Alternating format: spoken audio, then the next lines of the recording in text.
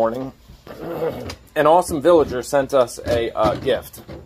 And uh, I'm not sure if this is for my iced coffee or for Greta. Your scooper. It doesn't fit in the ice machine. I think it's meant for House of Pie to scoop grain. What do you think? How? Oh, wait a second. It's bigger than your head. Yeah, I can fit inside it. He's a knight. Where'd Olivia go? Wait, look how small this Or a candy scooper. Let's show the smaller one. Oh, look at that. Thank you. So cool. That's that's that's huge. That is humongous. Love Lucy's gonna like that scooper.